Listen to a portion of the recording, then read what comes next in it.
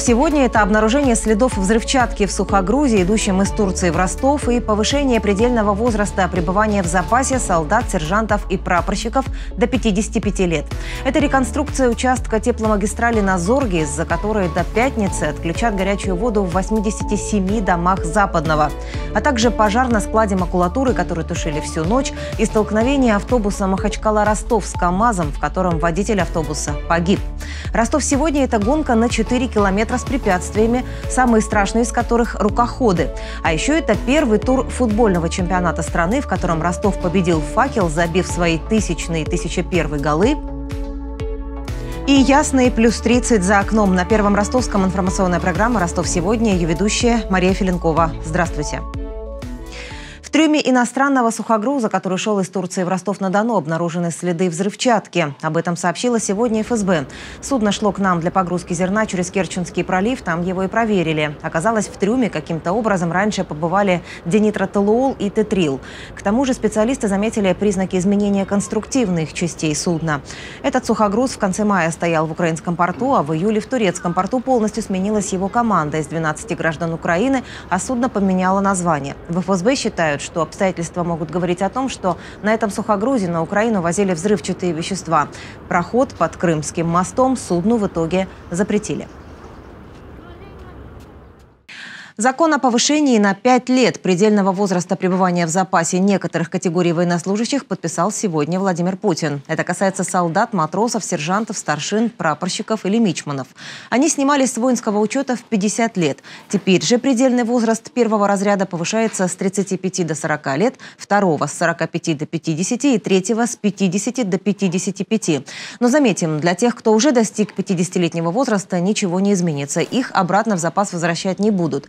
Поправки заработают поэтапно до 1 января 2028. То есть, кому 50 исполнится в 2024 году, останутся в запасе до 51 года, а в 2027 до 54. И только с 2028 года все солдаты и сержанты будут уходить в запас в 55 лет.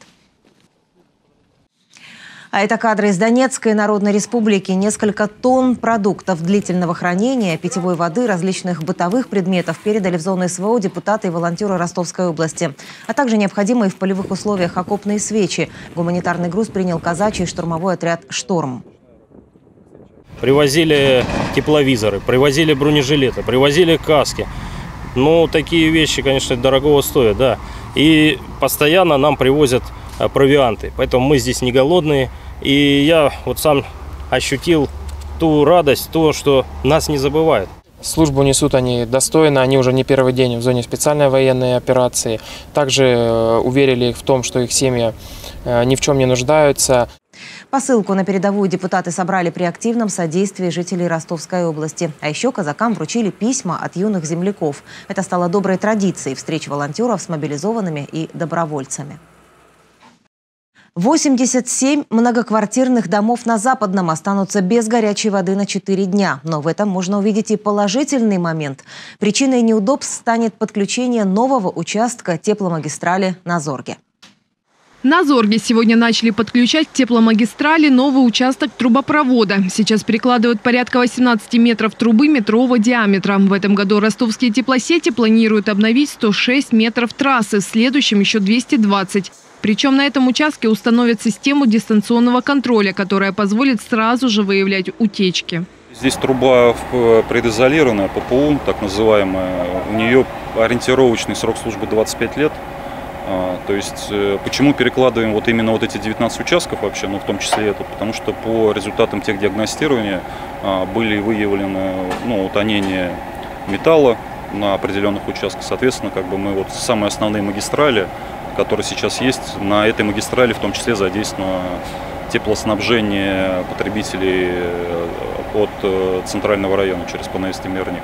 На реконструкцию магистральных теплосетей Ростова в этом и следующем годах из Фонда национального благосостояния выделено 3 миллиарда рублей. Еще 808 миллионов вкладывают ростовские теплосети. На эти деньги запланировали обновить 24 изношенных участка, два из которых по улицам 339-й стрелковой дивизии и Мечникова готовы. Этот участок на Зорке должны закончить до пятницы, но при этом нужно отключить горячую воду в 87 домах Западного. Отключение связано с модернизацией 380 трассовых метров тепломагистрали диаметром 1000 мм. Данный участок э, тепломагистрали является важным э, элементом системы теплоснабжения западной и центральной части города Ростова-на-Дону. Для обеспечения жителей горячим водоснабжением была предусмотрена временная э, линия. В настоящее время, время проходят работы по переподключению с временной на основную ветку теплоснабжения.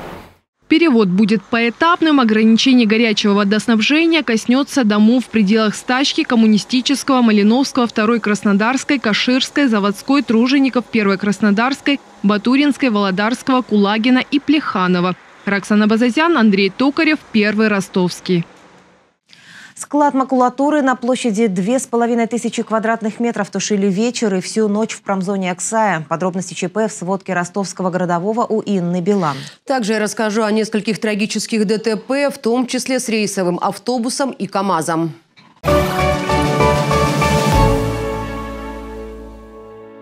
Почти 17 часов тушили пожар в промзоне Оксая. Склад макулатуры на улице Пороховая. Балка загорелся около 5 часов вечера пятницы. Сотрудники соседней базы увидели дым и вызвали пожарных. Дым был такой, что не видно было сначала, откуда начинается все. Там пластик и картон, видимо, поэтому. Позвонили, э, пожарные приехали быстро, буквально за 7-8 минут приехали. Начали тушить сразу. Мы от себя отдали 10 э, тонн воды вот с нашей базы они вот загоняют, переливают и тушат. На место прибыли 53 пожарных и 15 единиц техники. Но когда площадь возгорания возросла до 2500 квадратных метров, возникла угроза перехода огня на соседний склад. И ранг пожара повысили до третьего. А группировка спасателей выросла до 70 человек. Тушение разделили на три участка. С огнем боролись из земли и с воздуха. В настоящий момент работает 7 стволов на тушение, 7 звеньев газодымозащитной службы. Также работает авиация МЧС России, которая осуществляет водосбросы. В настоящий момент сохраняется угроза перехода огня на соседний склад. Воду подавали как по рукавам, так и водовозками. Почти 40 тонн ее прилетело сверху. Вертолет Ми-8 сделал 13 сбросов. Ликвидировать открытое горение удалось к половине 12 ночи. Но проливали очаг пожарные до рассвета. Полную ликвидацию объявили только в субботу утром. Пострадавших нет. Областная прокуратура организовала проверку соблюдения требований пожарной безопасности. Рейсовый автобус Махачкала-Ростов попал в аварию в Урванском районе Кабардино-Балкарии. В субботу утром на трассе «Кавказ» он въехал в КАМАЗ с прицепом. 36-летний водитель автобуса, житель Ростовской области, погиб. Травмы получили 8 пассажиров, в том числе 9-летняя девочка и водитель КАМАЗа. Участники ДТП – жители Краснодарского края, Дагестана, Ингушетии и Кабардино-Балкарии.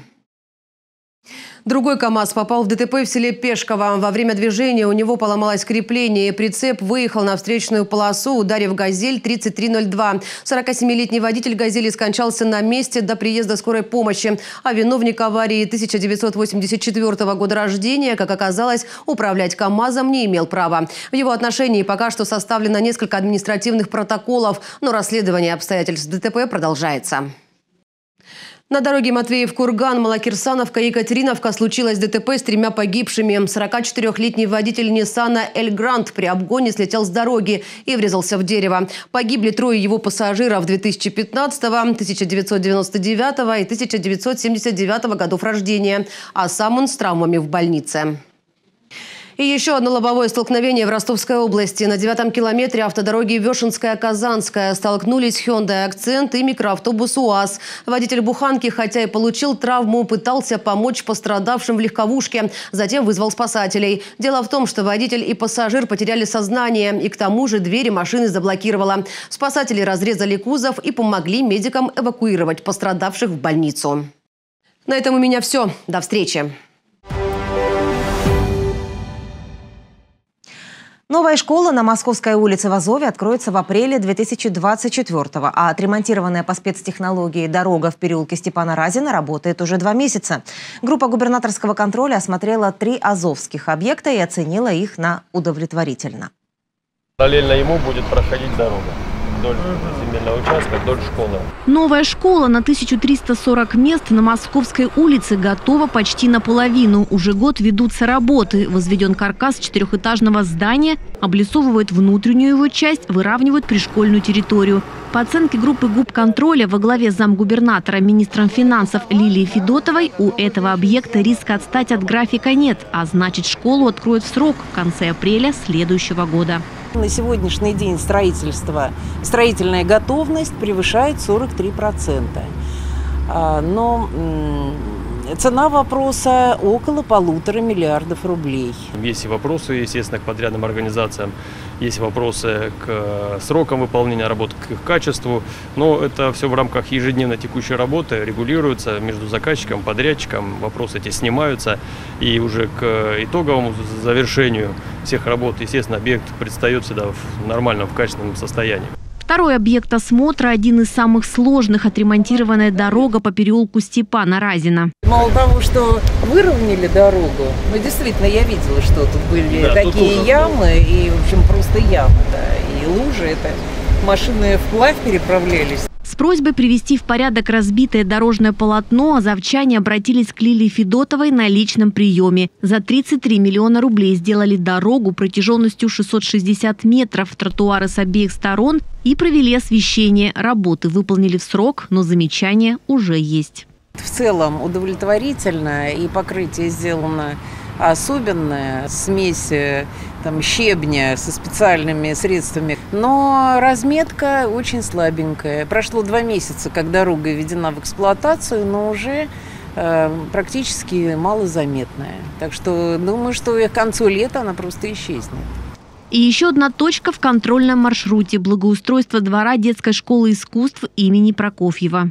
Очень здорово, что э, здесь была сделана входная группа, вот, э, учитывая, что не- неоднократно были обращения родителей учеников школы, вот, и нужно отдать должное, что своевременная э, ре- реакция администрации города, вот, э, спасибо правительству Ростовской области, что выделили деньги. Новую плитку уложили по программе инициативного бюджетирования, освоив 2,5 миллиона рублей. Юлия Сурикова, Первый Ростовский. Две новые школы скоро примут учеников в Батайске. Одна откроется уже 1 сентября, вторую обещают сдать в начале следующего года. Ход работ на этих важнейших объектах оценила группа губконтроля во главе с замгубернатора Игорем Сорокиным. Также в ее маршруте детский сад и модельная библиотека. Вот этот, вот этот мы думаем до 1 сентября, ну, до 15 сентября мы на все, ну параллельно, параллельно мы уже идем, уже кладку у нас догоняет. монолит. Ну, получается, до холодов хотите полностью конкурс. Ну, вот.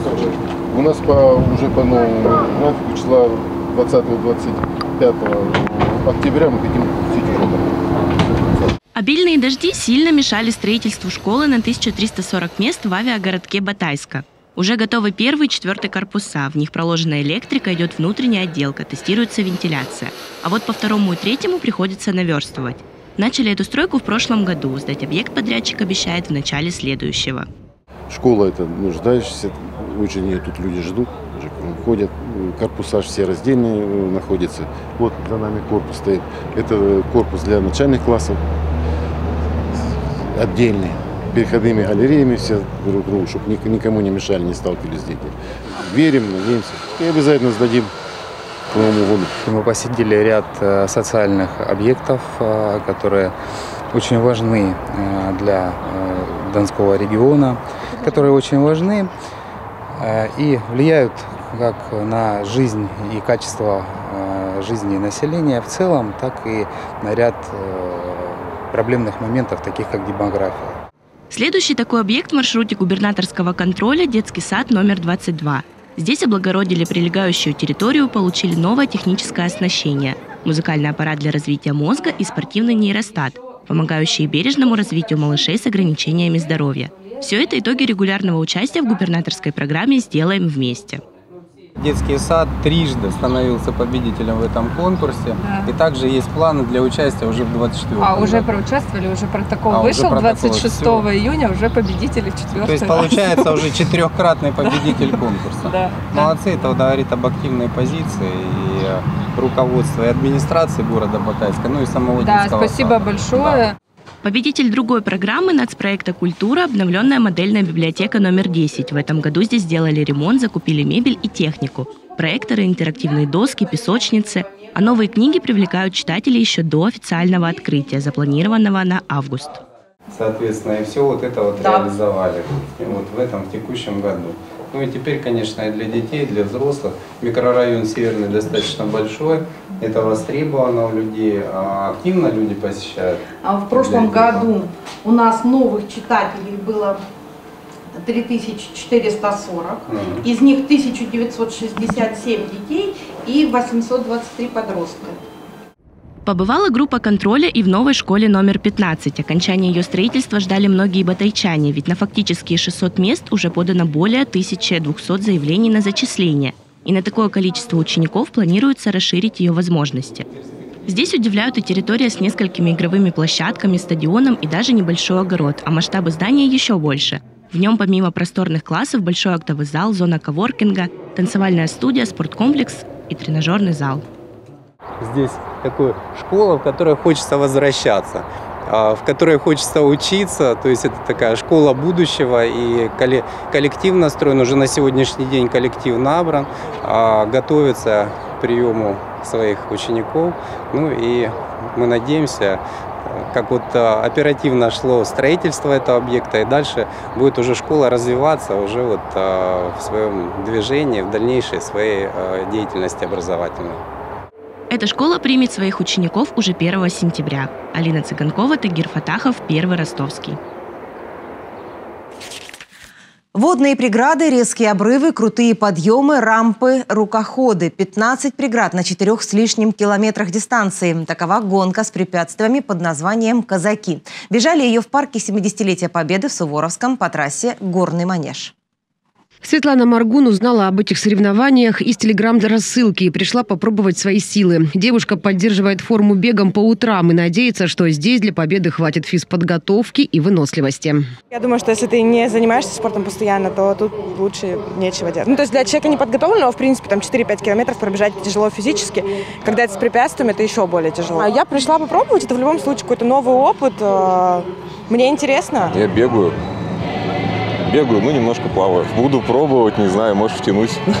Ну, пока не знаю. Пока пробежать просто ее уже, наверное, мне кажется, подвиг. Гонку казаки бегут и профессионалы, и любители. А еще есть парные состязания. В таких участвовали Дмитрий и Елизавета Самсоновы из «Шахт». Спортсмены, они подготовлены и занимаются кроссфитом. Но говорят, что тут для них главное не победа, а участие. Ищем себя, ищем новые какие-то виды спорта, проверяем себя на выносливость. В любом случае мы знаем то, что можно обходить препятствия. И если не справляешься, пошел на финиш, свою медальку забрал, ты поехал счастливый домой. Областная федерация гонок с препятствиями создана в 2020-м. Тренировочной базой ее стал Суворовский. Здесь есть где бегать. Такие гонки – вид спорта молодой и пока только набирает популярность в стране. Будем все делать для того, чтобы Ростов-на-Дону стал одним из таких выдающихся по-своему островков развития. Чтобы спорт развивался, важно выращивать не только спортсменов, важно создать школу тренеров. Это быстро не получится. Вот. Мы сейчас уже об этом думаем. И вот он старт. Первыми побежали профессионалы. Четыре, три, два, один. Поехали! Самыми сложными препятствиями спортсмены называют рукоходы. В 30-градусную жару на раскаленных перекладинах удержаться особенно тяжело. Руки стираются в кровь.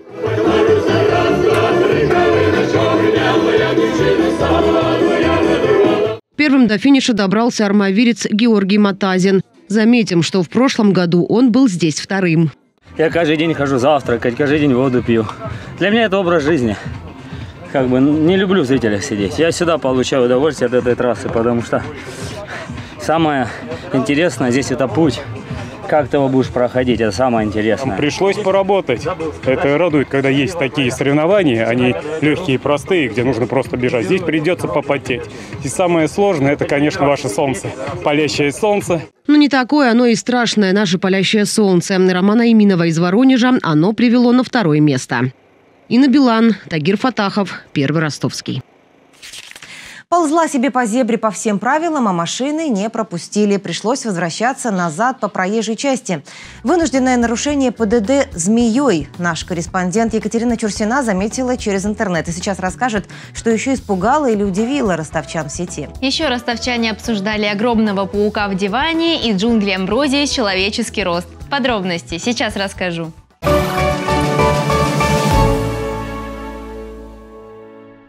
Шла по пешеходному переходу, точнее ползла, но водители не пропустили. На зебре в центре Ростова заметили змею, знающую правила дорожного движения. Она хотела перейти Красноармейскую, но что-то пошло не так.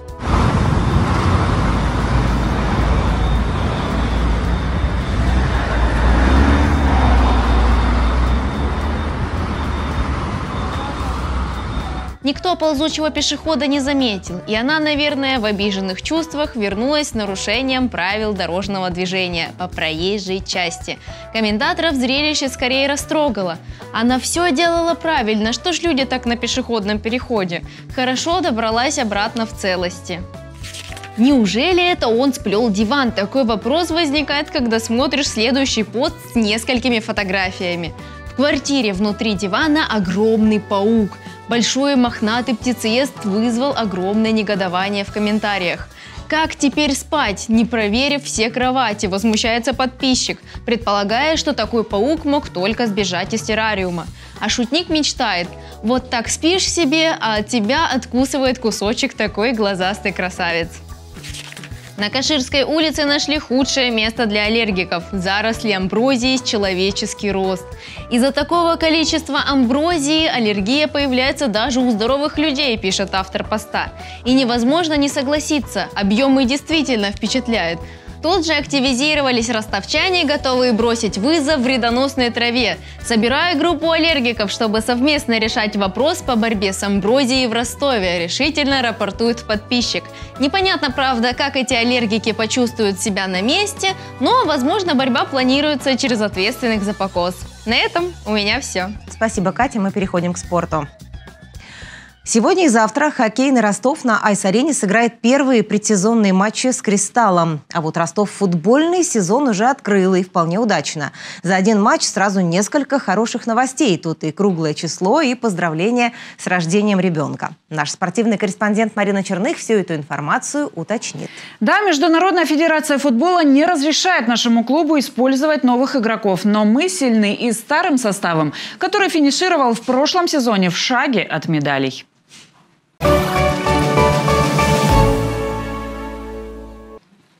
Два гола забил Ростов в первом туре, и оба стали символичными. Первый – тысячным, второй – умилительным подарком к рождению дочки. Футбольный чемпионат России стартовал, и Ростов славно зажег с факелом. Хотя не обошлось без казуса. ФИФА запретила нашему клубу заявлять новых игроков из-за давнего дела с никому давно не нужным трансфером Альмквиста. Так что на первый матч сезона не могли выйти ни Акбашев, ни Ионов, ни Иранец Махеби. Но Ростов справился и прежним составом. Начали наши мощно, и уже на 14-й минуте Галенков отправил мяч в ворота. Но его не засчитали. Офсайд. И тут же забил факел, но уже по правилам мощным ударом в девятку. Ростов это не смутило, и атаки наши накатывают одна за одной. Такой знакомый навес Уткина со штрафного на Камличенко. Форвард чуть не дотягивается, чтобы удар получился плотным. До удара Галенкова дотягивается вратарь, а потом отражает мощный накат Терентьева. Такой напор не мог остаться без результата. И вот он голевой угловой. Подача Уткина. Камличенко потолкался, поборолся головой, Осипенко потолкался, поборолся головой и 1-1. Этот гол стал для Ростова тысячным в чемпионатах России. А вот и тысяча и один гол. Наши разыграли идеальную комбинацию со своей половины поля. Камличенко вывел на удар Тугарева, и тот не промахнулся. Сделать этого он просто не мог, ведь в этот день у него родилась дочка. Как скажет после игры Валерий Карпин, первые 65 минут матча его игроки провели очень хорошо, а дальше все не получалось. Факел в концовке мог отыграться, но Писяков справился, и победа в итоге наша 2-1. Теперь впереди старт Кубка страны. В среду ждем на Ростов-арене вернувшийся в РПЛ «Рубин» который, кстати, чуть не обыграл в первом туре одного из фаворитов чемпионата – «Локомотив». Марина Черных, Первый Ростовский. Пасмурно началась новая неделя в Ростове, но это не значит, что она собирается такой быть. Уже во вторник абсолютно ясный плюс 30 обещает нам наш метеокор Дарья Лисицкая, и мы ей, безусловно, верим.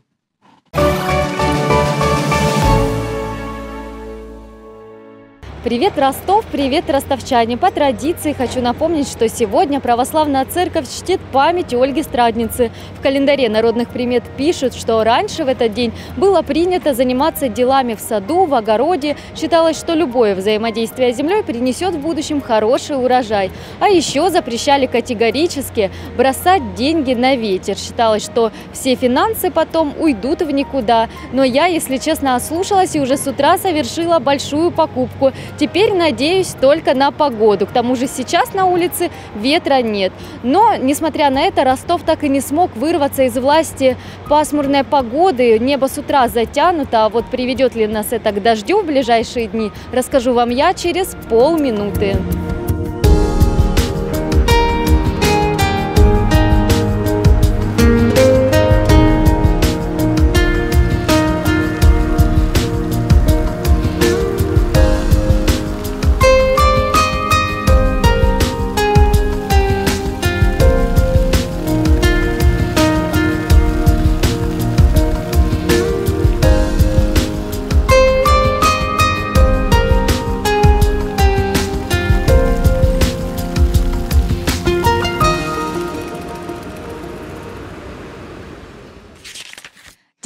Ждет, что я начну прогнозировать дожди, хочу разочаровать. Сегодня обойдемся без них. Ночью в городе малооблачно при 20 градусов тепла, а уже утром на термометрах покажутся привычные за последнюю неделю плюс 30. Отсутствие осадков подтверждает обещанная синоптиками влажность воздуха. Она снизится до 37%. Атмосферное давление при этом останется довольно низким – 750 миллиметров ртутного столба на барометрах. Ветер по-прежнему малозаметный в его нынешних силах перемещать воздух всего на 2,5 метра в секунду. Но несмотря на такое затишье, магнитное поле будет неустойчивым. На этом я с вами прощаюсь. Увидимся в эфире.